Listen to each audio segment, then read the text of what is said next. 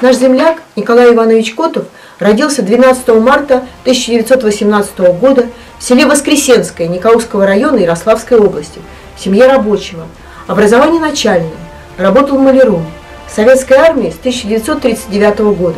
Окончил курсы младших командиров, участник Великой Отечественной войны с июня 1941 года. Командир саперного отделения 85-го отдельного моторизованного понтонно-мостового батальона старший сержант Котов героически действовал при форсировании реки Днепр. 5 октября 1943 года в районе хутора Змеи, Репкинский район Черниговской области, на понтоне под шквальным огнем противника переправлял на правый берег подразделение пехоты и боеприпасы. Только в ночь на 6 октября 1943 года сделал 15 рейсов и перевез около 550 бойцов и офицеров с вооружением. Обратными рейсами переправлял раненых.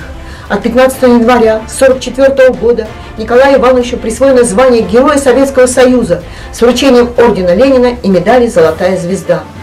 Награжден орденами Александра Невского, Отечественной войны первой и второй степени, Красной звезды и медалями.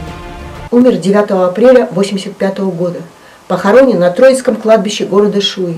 Его имя увековечено на стеле, установленной на воинском мемориале Троицкого кладбища и на мемориале героев Ивановцев в областном центре.